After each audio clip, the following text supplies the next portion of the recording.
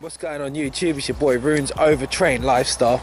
Early morning, about to go to the gym and smash out some compound movements, do a whole lot of cardio. I'm getting to that point where you know when you get bulky and it doesn't feel healthy. That's how I feel. And what I found is when you do cardio, you sweat all of that, whatever's making you feel down, out. So do a whole lot of cardio, load of compound movements today. I'm outside in the fresh air, early morning. I'm just getting a bit of good nature in my body. It's always good. It's cold today, but you know, sometimes it's good for you. Anyway, what I wanted to talk about today is having no confidence for the gym. The reason I wanted to do this video is because I know there's a lot of people around my circle and there's people, loads of people out there that really want to go and train. They want to go and do good, but they just have no confidence to go to the gym. And that is the wrong way to approach this thing the right way to approach this thing is you don't have confidence to train because you don't know what you're doing. Um, I'll explain. Um, if you, the main reason people don't want to go to the gym, and if you ask them, it's because they say, "I don't know what I'm doing," or um, "I'm scared people will look at me and watch what I'm doing and think, oh, you're doing it wrong, etc." And yeah, that is true. What I would do first of all is I would get familiar with working out. Have a look online the internet is your best friend. There's everything now on the internet. YouTube, Google.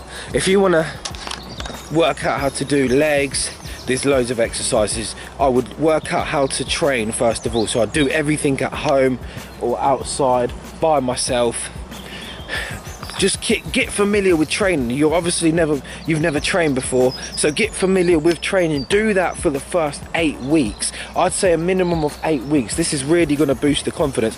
Have a look. If you want to train i don't know if you just want to lose weight go do your running cardio look for different exercises. That that eight week period is that minimum time frame you need. Once you've done that then go to the gym and, and honestly it will make a huge huge difference. Obviously for some people you can just say you know what? Fuck it. I'm going to the gym and i'm going to do it. But for some people it's not that easy. A lot of people suffer from anxiety and you know like paranoia and things. So what i'd say is get used to training first of all.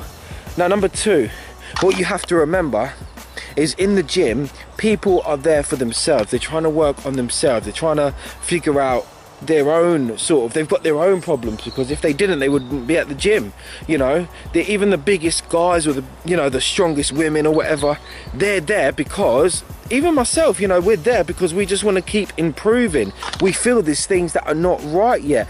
Think about it if we if we didn't go to the if we felt that we were perfect and everything was okay, we wouldn't bother going to the gym. So everybody's there for their own reason. They don't give a fuck about what you're doing there, and they're not really bothered. Even if you're doing, if you do do something wrong, there's always people there to help you. Or you can ask someone, or you can quickly check on your phone about the right way of doing it. And I'd say even if you're doing weights, start off light, everything light and that will really make a difference don't go in there and ego lift if you're if you're looking to start lifting don't do that that's silly and what you have to remember as well is I always take, should I, take, um, you know when you see overweight people that are trying to lose weight and they're running, think about that when they're running outside and you drive past, they're driving past loads and loads and loads of cars, different people, and what do we do? We only look for about two seconds.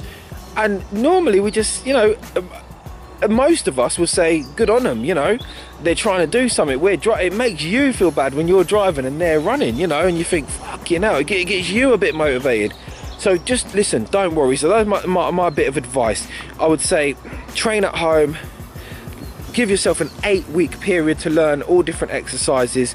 You know, there's so many. Even if you have to go and get yourself some cheap weights, go and do that and learn how to squat and learn different things. I don't know what different techniques. I don't know whatever you you're trying to do or trying to you know do with your body. Go and learn it, and then go to the gym. And just remember, nobody gives a fuck. Everybody's there for their own reasons, and they don't care.